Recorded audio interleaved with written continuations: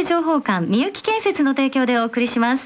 はい皆様お待たせいたしました。飛鳥さんの登場ですよろしくお願いします。お願いします。どうもこんにちはえー、皆さんもう目も声もハートになってますよ。ようやくお会いできました。今日ももうご覧くださいあつきさん、はいこのサングラスにシャツのボタンを3つえーレザージャケット。レザージャえケット。昨日名古屋で買ったんです。えそうなんですか？そうなんですか？あらええ。どうしたんですか？急に寒くなったの。かあの旅の品種を間違えましてですね、ええ。あの服を持ってきてなかったあれ今日ねあの一番恥ずかしかったこととかっていうテーマでオープニングあったんですけど、ええかっこ悪い体験だ旅の日にちを間違えた。間違えたんで、ええ。はい、もうあのすっからかんで持ってきてたんで。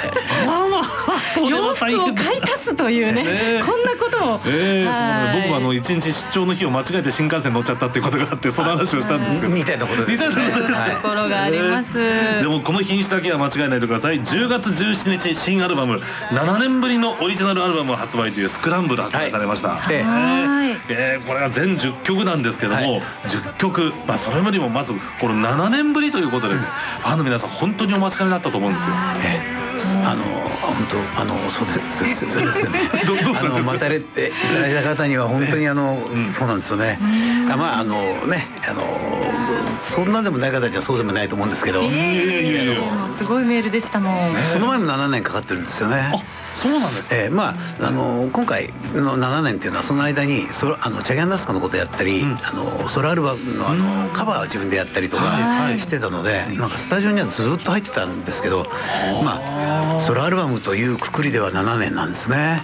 ええ。そうかそうか。だからあの同時にあの昭和が見ていたクリスマスって今回同じ日にライブビデオも出ますけどええ。も、飛鳥さんが影響を受けたいろんなアーティストの曲をコンサートでね歌われてきてるんですよね。歌謡曲をね、えー歌謡曲ですもん。また会う日まで。えあの鐘を鳴らすのはあなた。えこれはいいっすよ。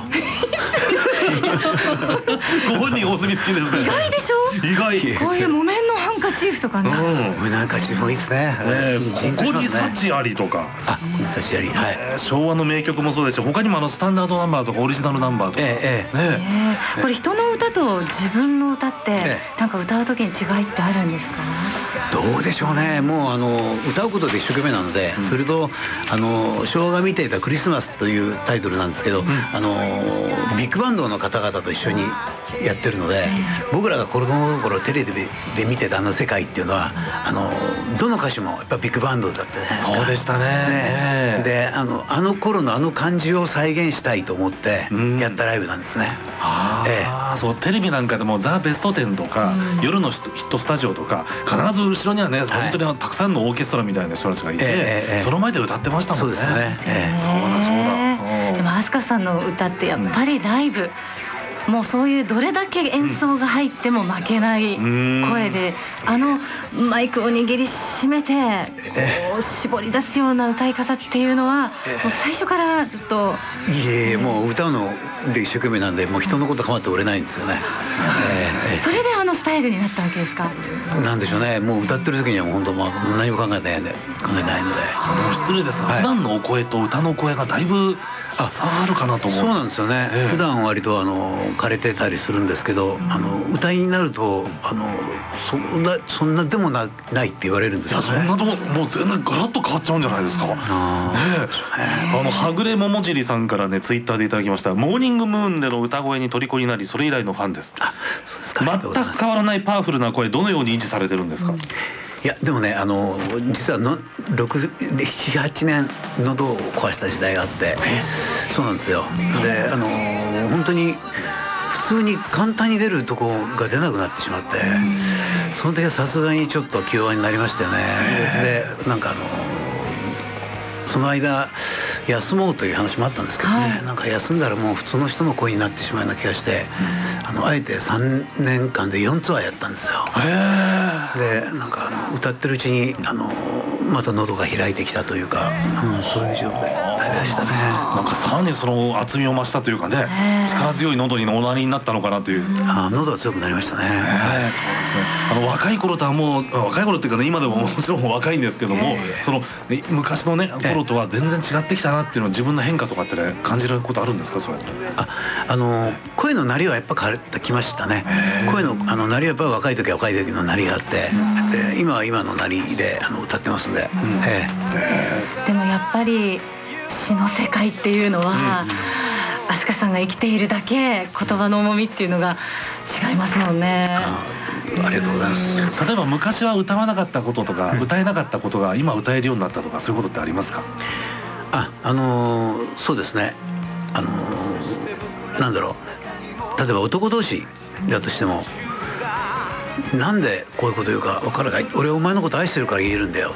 例えばこういうセリフがうんあの言えるようになったっていうのは、やっぱり若い頃はなかなかこうできなかったですよね。気恥ずかしかったり、んなんか違うことを連想したりとか、うんなんか変な風になっちゃったりとかしますけどもねそういうのは普通にあの心から言えるようになったのは確かにあの年のねと取ったところなんでしょうね。えー手でも手らいもなく言えるようになったっていうのは、ねえーあるのかもしれない。えでも本当に歌詞の世界ってシンプルな言葉しか使えないじゃないですか。うんうんそれをこうずっとこう繰り出してきたっていう中で考えることとか感じることってやっぱりありますか？そうですね。うんあのやっぱりあの人生っていう僕は人生という言葉を歌詞でかあの使うのすごい苦手で、はい。あのほとんど使ったことないんですけど、へでもなんかねあの男50を過ぎてあのなんとなくですよ。あのどうやって生きてきてどんな人生だったかっていうなんとなくあの人生の尻尾みたいなのが見えてくるのだと思うんですよね。でそれをステージでも喋ってたんですね。でまあどういう生き方をしてきたかなんとなくもう自分であの分かってきたよ。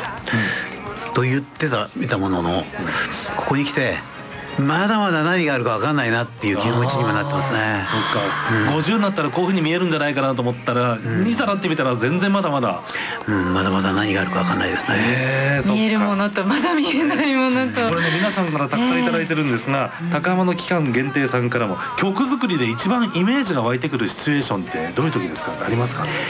どうでしょう。僕はあのよく気が付かないうちにあの一緒でメンバーが待機してくれたりしてるところで曲作るんですけど本当に気が付かないうちに1時間2時間ずっとあの歌いっぱなしらしいんですよね。えー、時間忘れちゃうんですか？本当にもうあの気が付いたら入り込んじゃう2時間ぐらいずっと歌ってたみたいなんですよ。であのその中でもうああれはあのアドリブのあの連続なので、はい。そのアドリブを瞬間あのあこのアドリブはいけてると思ったところをつないでいくのが楽曲作る作業なんで、あのその時間耐えてくれるあのメンバーの方に感謝したいですね。あじゃあもうその間ずっと口でハミングしたり。ずーっと歌ってますね。うん。どんどんメモって、うん。うわあ素敵ですね、えー、安城市のゆななさんから、はい。ライブは自分が愛されていることを確認できる場所と言われていて、はい。えーとても嬉しくなりました、えー今回のライブ刈谷センチュリーで参加しますよ。はい。はい。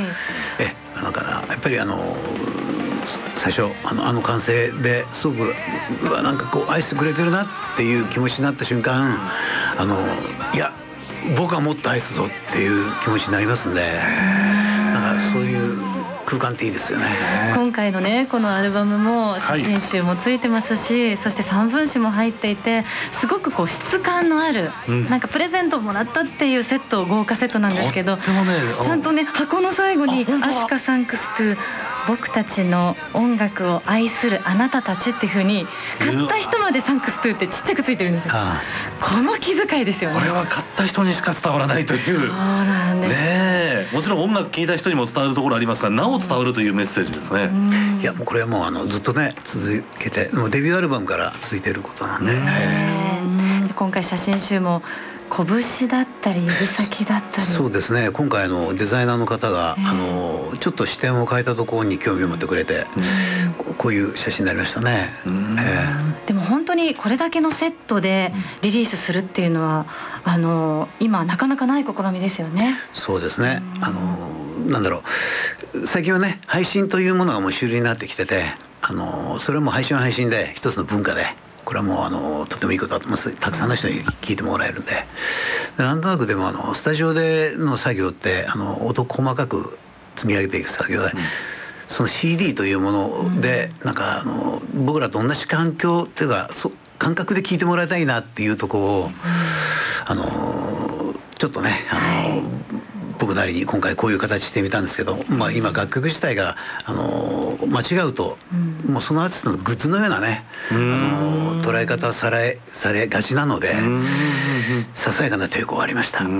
やっぱり生き様であったり自分の生きてる証であったり、ね、そのそれこそ人生っておっしゃいましたけども、うん。その瞬間の飛鳥さんのある時の何か一つのものがこうこう固まってああるって感じですかね。うん。なんかそうですね。もう、うんえーえーライブのえー日程を改めておさらいしておきましょう、新年ね明けてこのこの地方では1月の11日金曜日刈谷市総合文化センター。1月13日日曜日14日月曜日祝日は名古屋国際会議場センチュリーホールです。あの時間が各会場各曜日それぞれ違いますので、はい。お間違いないようにお願いいたします、なんか飛鳥さんってこれからもなんかね、ええ。あの日本のスタンダードナンバーになっていく人なんじゃないかなって僕らうんとっても期待してるんですよ。あそれはもう嬉しいですね。ええ。たまには、ええカラオケでねあの一人咲きとか歌ったりすると、はい若い子なんかが「何その歌は初めて聞いた」みたいな。あそうなんですか。ええそんな反応してくれたりすると「あ俺らがあ知ら知らないのお前こういう歌あるんだよ」っていうね。